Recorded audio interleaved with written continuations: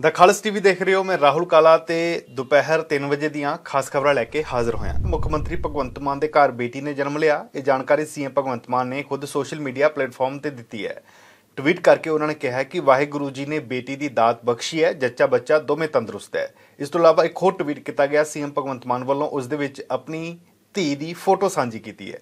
CM Bhagwant Mann ਨੇ ਪਤਨੀ doctor ਉਹਨਾਂ ਦੀ ਪਤਨੀ ਜਿਹੜੀ ਡਾਕਟਰ ਗੁਰਪ੍ਰੀਤ ਕੌਰ ਹੈ ਬੀਤੀ ਰਾਤ ਮੋਹਾਲੀ ਦੇ ਫੋਸਟ- ਅ, ਫੋਰਟਿਸ ਹਸਪੀਟਲ ਦੇ ਵਿੱਚ ਐਡਮਿਟ ਹੋਏ ਸੀ। ਡਾਕਟਰ ਗੁਰਪ੍ਰੀਤ ਕੌਰ ਦੇ ਗਰਭਵਤੀ ਹੋਣ ਬਾਰੇ ਜਾਣਕਾਰੀ ਸੀਐਮ ਭਗਵੰਤ ਮਾਨ ਨੇ ਖੁਦ ਦਿੱਤੀ ਸੀ ਜਦੋਂ 26 ਜਨਵਰੀ ਮੌਕੇ ਲੁਧਿਆਣਾ ਦੇ ਵਿੱਚ ਸਮਾਗਮ ਰੱਖਿਆ ਗਿਆ ਸੀ। ਉਦੋਂ ਸੀਐਮ ਭਗਵੰਤ ਮਾਨ ਨੇ ਕਿਹਾ ਸੀ ਕਿ ਮਾਰਚ ਮਹੀਨੇ ਉਹਨਾਂ ਦੇ ਘਰ ਖੁਸ਼ੀਆਂ ਆਉਣ ਵਾਲੀਆਂ ਨੇ। ਕੇਂਦਰ ਵੱਲੋਂ ਦੇਸ਼ ਭਰ ਦੇ ਵਿੱਚ ਮਨਰੇਗਾ ਕਾਨੂੰਨ 2005 ਦੇ ਤਹਿਤ ਮਨਰੇਗਾ ਮਜ਼ਦੂਰੀ ਦਾ ਡੇਲੀ ਵੇਜ ਰੇਟ ਦੇ ਵਿੱਚ ਵਾਧਾ ਕਰ ਦਿੱਤਾ ਗਿਆ। 1 ਅਪ੍ਰੈਲ ਤੋਂ ਇਹ ਲਾਗੂ ਹੋਵੇਗਾ।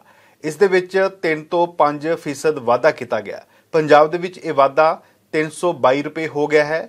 ਪਿੰਡੂ ਵਿਕਾਸ ਮੰਤਰਾਲੇ ਨੇ ਲੇਬਰ ਦਰਾਂ ਨੂੰ ਨੋਟੀਫਾਈ ਕਰਨ ਤੋਂ ਪਹਿਲਾਂ ਚੋਣ ਕਮਿਸ਼ਨ ਤੋਂ ਇਜਾਜ਼ਤ ਮੰਗੀ ਸੀ।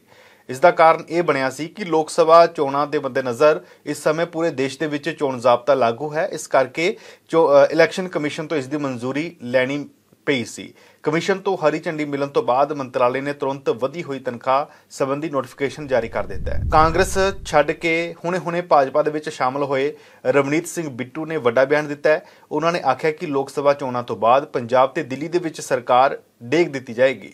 ਰਵਨੀਤ ਸਿੰਘ ਬਿੱਟੂ ਨੇ ਕਿਹਾ ਕਿ ਆਮ ਆਦਮੀ ਪਾਰਟੀ ਦੇ ਬਹੁਤ ਸਾਰੇ ਐਮਐਲਏ ਸਾਡੇ ਨਾਲ ਸੰਪਰਕ ਦੇ ਵਿੱਚ ਹੈ। ਲੋਕ ਸਭਾ ਚੋਣਾਂ ਤੋਂ ਬਾਅਦ ਪੰਜਾਬ ਤੇ ਦਿੱਲੀ ਦੇ ਵਿੱਚ ਆਮ ਆਦਮੀ ਪਾਰਟੀ ਦੇ ਵਿਧਾਇਕ ਆਪ ਨੂੰ ਛੱਡ ਕੇ ਬੀਜੇਪੀ 'ਚ ਚਲੇ ਜਾਣਗੇ ਤੇ ਇਹਨਾਂ ਦੀਆਂ ਦੋਵੇਂ ਸਰਕਾਰਾਂ ਟੁੱਟ ਜਾਣਗੀਆਂ। ਉਹਨਾਂ ਨੇ ਕਿਹਾ ਕਿ ਪੰਜਾਬ ਤੇ ਦਿੱਲੀ ਦੇ ਵਿਧਾਇਕ ਇਸ ਪਾਰਟੀ ਨੂੰ ਛੱਡ-ਛੱਡ ਭੱਜਣਗੇ ਕਿਉਂਕਿ ਪਾਰਟੀ ਮੁਖੀ ਅਰਵਿੰਦ ਕੇਜਰੀਵਾਲ ਜੇਲ੍ਹ ਦੇ ਵਿੱਚ ਹੈ ਤੇ ਦੂਸਰਾ ਰਾਘਵ ਚੱਡਾ ਭਗੌੜਾ ਹੈ। ਦਿੱਲੀ ਦੇ ਮੁੱਖ ਮੰਤਰੀ ਅਰਵਿੰਦ ਕੇਜਰੀਵਾਲ ਦਾ ਅੱਜ ਈਡੀ ਰਿਮਾਂਡ ਖਤਮ ਹੋ ਰਿਹਾ ਹੈ। ਅੱਜ ਈਡੀ ਕੇਜਰੀਵਾਲ ਨੂੰ ਬਾਅਦ ਦੁਪਹਿਰ ਰਾਉਜ਼ ਐਵਨਿਊ ਕੋਰਟ ਦੇ ਵਿੱਚ ਪੇਸ਼ ਕਰਨ ਜਾ ਰਹੀ ਹੈ। ਸੰਭਾਵਨਾ ਹੈ ਕਿ ਹੁਣ ਸੀਬੀਆਈ ਵੀ ਇਸ ਕੇਸ ਦੇ ਵਿੱਚ ਐਂਟਰੀ ਕਰ ਸਕਦੀ ਹੈ। ਇਸ ਘੁਟਾਲੇ ਦੇ ਨਾਲ ਸੰਬੰਧਿਤ ਜਾਂਚ ਅਧਿਕਾਰੀਆਂ ਨੇ ਕਾਨੂੰਨੀ ਟੀਮ ਤੋਂ ਵੀ ਸਲਾਹ ਲੈ ਲਈ ਹੈ। ਟੀਮ ਦੋਸ਼ੀਆਂ ਵੱਲੋਂ ਪਹਿਲਾਂ ਦਿੱਤੇ ਗਏ ਬਿਆਨਾਂ ਦੇ ਆਧਾਰ ਤੇ ਕੇਜਰੀਵਾਲ ਤੋਂ ਪੁੱਛਗਿੱਛ ਕਰਕੇ ਸਬੂਤ ਇਕੱਠੇ ਕਰਨਾ ਚਾਹੁੰਦੀ ਹੈ। 21 ਮਾਰਚ ਨੂੰ ਈਡੀ ਨੇ ਸ਼ਰਾਬ ਘੁਟਾਲਾ ਮਾਮਲੇ ਦੇ ਵਿੱਚ ਦਿੱਲੀ ਦੇ ਮੁੱਖ ਮੰਤਰੀ ਅਰਵਿੰਦ ਕੇਜਰੀਵਾਲ ਨੂੰ ਗ੍ਰਿਫਤਾਰ ਕੀਤਾ ਸੀ। ਇਸ ਦੇ ਅਗਲੇ ਦਿਨ 22 22 ਮਾਰਚ ਨੂੰ ਅਦਾਲਤ ਦੇ ਵਿੱਚ ਪੇਸ਼ ਕਰਕੇ 6 ਦਿਨ ਦਾ ਰਿਮਾਂਡ ਹਾਸਲ ਕਰ ਲਿਆ ਗਿਆ ਸੀ। ਦੂਸਰੇ ਪਾਸੇ ਦਿੱਲੀ ਹਾਈ ਕੋਰਟ ਦੇ ਵਿੱਚ ਅੱਜ ਅਰਵਿੰਦ ਕੇਜਰੀਵਾਲ ਦੇ ਸੀਐਮ ਅਹੁਦੇ ਤੇ ਬੈਠੇ ਰਹਿਣਗੇ ਜਾਂ ਨਹੀਂ, ਇਸ ਮਾਮਲੇ ਦੀ ਵੀ ਸੁਣਵਾਈ ਹੋਣੀ ਹੈ। ਅਰਵਿੰਦ ਕੇਜਰੀਵਾਲ ਦੀ ਗ੍ਰਿਫਤਾਰੀ ਤੋਂ ਬਾਅਦ ਦਿੱਲੀ ਤੋਂ ਲੈ ਕੇ ਪੰਜਾਬ ਤੱਕ ਸਿਆਸਤ ਗਰਮਾਈ ਹੋਈ ਹੈ। ਆਪ ਦੇ ਤਿੰਨ ਵਿਧਾਇਕਾਂ ਨੇ ਪ੍ਰੈਸ ਕਾਨਫਰੰਸ ਕਰਕੇ ਦੋਸ਼ ਲਗਾਇਆ ਸੀ ਕਿ ਉਹਨਾਂ ਨੂੰ ਵਿਦੇਸ਼ੀ ਨੰਬਰਾਂ ਤੋਂ ਕੌਲਾਂ ਆ ਰਹੀਆਂ ਨੇ। ਨਾਲ ਹੀ ਭਾਜਪਾ ਦੇ ਵਿੱਚ ਸ਼ਾਮਲ ਹੋਣ ਦੇ ਲਈ 25 ਕਰੋੜ ਰੁਪਏ ਤੱਕ ਦਾ ਆਫਰ ਦਿੱਤਾ ਜਾ ਰਿਹਾ ਇਸ ਦੇ ਨਾਲ ਹੀ ਹੁਣ ਪਾਰਟੀ ਦੇ ਜਨਰਲ ਸਕੱਤਰ ਤੇ ਰਾਜ ਸਭਾ ਮੈਂਬਰ ਡਾਕਟਰ ਸੰਦੀਪ ਪਾਠਕ ਨੇ ਵੀ ਆਪਣੇ ਸੋਸ਼ਲ ਮੀਡੀਆ ਅਕਾਊਂਟ ਤੇ ਇਸ ਸੰਬੰਧੀ ਪੋਸਟ ਪਾਈ ਹੈ।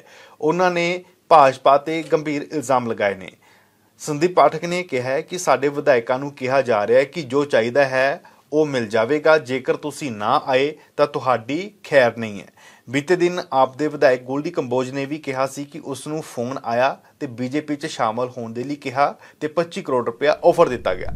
ਆਮ ਆਦਮੀ ਪਾਰਟੀ ਦੇ ਇਕਲੌਤੇ ਲੋਕ ਸਭਾ ਮੈਂਬਰ ਸੁਸ਼ੀਲ ਕੁਮਾਰ ਰਿੰਕੂ ਤੇ ਜਲੰਧਰ ਵੈਸਟ ਤੋਂ ਵਿਧਾਇਕ ਸ਼ੀਤਲ ਅੰਗੁਰਾਲ ਦੇ ਭਾਜਪਾ 'ਚ ਸ਼ਾਮਲ ਹੋਣ ਤੋਂ ਬਾਅਦ ਜਲੰਧਰ ਦੇ ਵਿੱਚ ਆਮ ਆਦਮੀ ਪਾਰਟੀ ਦੇ ਵਰਕਰਾਂ ਵੱਲੋਂ ਕਾਫੀ ਹੰਗਾਮਾ ਕੀਤਾ ਗਿਆ।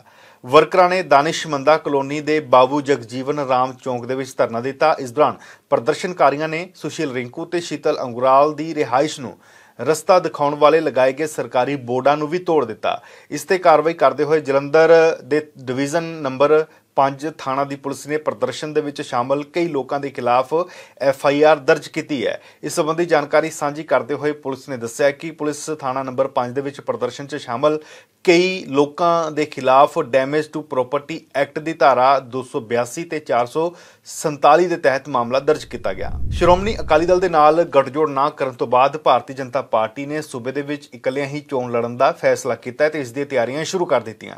ਅੱਜ ਚੰਡੀਗੜ੍ਹ ਸਥਿਤ ਪੰਜਾਬ ਭਾਜਪਾ ਦੇ ਮੁੱਖ ਦਫ਼ਤਰ ਦੇ ਵਿੱਚ ਪਾਰਟੀ ਦੇ ਕੋਰ ਕਮੇਟੀ ਦੀ ਮੀਟਿੰਗ ਹੋ ਰਹੀ ਹੈ, ਜਿੱਥੇ ਮੀਟਿੰਗ ਦੇ ਵਿੱਚ ਸੂਬਾ ਪ੍ਰਧਾਨ ਸੁਨੀਲ ਜਾਖੜ ਵੀ ਮੌਜੂਦ ਰਹਿਣਗੇ। ਇਸ ਦੇ ਨਾਲ ਹੀ ਪਾਰਟੀ ਦੇ ਸੂਬਾ ਇੰਚਾਰਜ ਵਿਜੇ ਰੂਪਾਨੀ ਵੀ ਇੱਥੇ ਮੌਜੂਦ ਰਹਿਣਗੇ।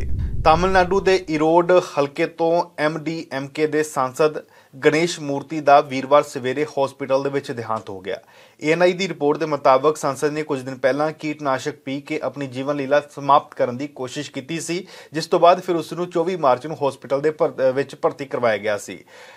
ਐਮਪੀ ਨੇ ਇਲਜ਼ਾਮ ਲਗਾਇਆ ਸੀ ਕਿ ਉਹਨਾਂ ਦੀ ਪਾਰਟੀ ਨੇ ਆਉਣ ਵਾਲੀਆਂ ਲੋਕ ਸਭਾ ਚੋਣਾਂ 'ਚ ਟਿਕਟ ਦੇਣ ਤੋਂ ਇਨਕਾਰ ਕਰ ਦਿੱਤਾ ਸੀ, ਜਿਸ ਕਰਕੇ ਉਸਨੇ ਅਜਿਹਾ ਕਦਮ ਚੁੱਕਿਆ। ਉੱਤਰਾਖੰਡ ਸੂਬੇ ਦੇ ਵਿੱਚ ਸ੍ਰੀ ਗੁਰੂ ਨਾਨਕ ਦੇਵ ਜੀ ਦੀ ਚਰਨ ਛੋਹ ਪ੍ਰਾਪਤ ਇਤਿਹਾਸਿਕ ਗੁਰਦੁਆਰਾ ਨਾਨਕ ਮੱਤਾ ਸਾਹਿਬ ਦੇ ਵਿੱਚ ਚੱਲ ਰਹੀ ਕਾਰ ਸੇਵਾ ਦੇ ਮੁਖੀ ਬਾਬਾ ਤਰਸੇਮ ਸਿੰਘ ਦਾ ਅੱਜ ਸਵੇਰੇ ਉਸ ਸਮੇਂ ਦੋ ਮੋਟਰਸਾਈਕਲ ਸਵਾਰ ਅਣਪਛਾਤਿਆਂ ਨੇ ਗੋਲੀਆਂ ਮਾਰ ਕੇ ਕਤਲ ਕਰ ਦਿੱਤਾ, ਜਦੋਂ ਉਹ ਨਿਤਨੇਮ ਤੋਂ ਬਾਅਦ ਆਪਣੇ ਸੇਵਕਾਂ ਦੇ ਨਾਲ ਗੁਰਦੁਆਰਾ ਕੰਪਲੈਕਸ ਦੇ ਨੇੜੇ ਸੈਰ ਕਰਕੇ ਬੈਠੇ ਹੋਏ ਸਨ। ਭਾਵੇਂ ਇਸ ਕਤਲ ਤੋਂ ਬਾਅਦ ਸਿੱਖ ਕੌਮ ਦੇ ਵਿੱਚ ਭਾਰੀ ਰੋਸ ਪਾਇਆ ਜਾ ਰਿਹਾ ਤੇ ਉੱਥੇ ਹੀ ਡੀਜੀਪੀ ਉੱਤਰਾਖੰਡ ਰਾਹੀਂ ਉਹਨਾਂ ਨੇ ਉੱਤਰਾਖੰਡ ਦੇ ਜਿਹੜੇ ਡੀਜੀਪੀ, ਇਹਨਾਂ ਨੇ ਪੂਰੀ ਤਰ੍ਹਾਂ ਦੇ ਨਾਲ ਨਾਕਾਬੰਦੀ ਕੀਤੀ ਹੈ। ਹਰ ਪੁਲਿਸ ਮੁਲਾਜ਼ਮ ਨੂੰ ਚੌਕਸ ਰਹਿਣ ਦੀ ਹਦਾਇਤ ਕੀਤੀ ਹੋਈ ਹੈ। ਇਸ ਦੇ ਇਲਾਵਾ ਦੱਸਿਆ ਜਾ ਰਿਹਾ ਹੈ ਕਿ ਇੱਕ ਐਸਆਈਟੀ ਦਾ ਵੀ ਗਠਨ ਕਰ ਦਿੱਤਾ ਗਿਆ। ਕੇਂਦਰੀ ਸੜਕ ਮੰਤਰੀ ਤੇ ਆਵਾਜਾਈ ਮੰਤਰੀ ਨਿਤਿਨ ਗਡਕਰੀ ਨੇ ਟੋਲ ਟੈਕਸ ਨੂੰ ਲੈ ਕੇ ਇੱਕ ਫਿਰ ਵੱਡਾ ਬਿਆਨ ਦਿੱਤਾ ਹੈ। ਉਹਨਾਂ ਨੇ ਦੱਸਿਆ ਕਿ ਪ੍ਰਧਾਨ ਮੰਤਰੀ ਨਰਿੰਦਰ ਮੋਦੀ ਦੀ ਸਰਕਾਰ ਯਾਨੀ ਕਿ ਐਨਡੀਏ ਸਰਕਾਰ ਟੋਲ ਖਤਮ ਕਰਨ ਵਾਲੀ ਹੈ। ਮਹਾਰਾਸ਼ਟਰ ਦੇ ਨਾਗਪੁਰ ਦੇ ਵਿੱਚ ਕੇਂਦਰੀ ਮੰਤਰੀ ਨਿਤਿਨ ਗਡਕਰੀ ਨੇ ਕਿਹਾ ਕਿ ਅਸੀਂ ਟੋਲ ਖਤਮ ਕਰਨ ਵਾਲੇ ਹਾਂ।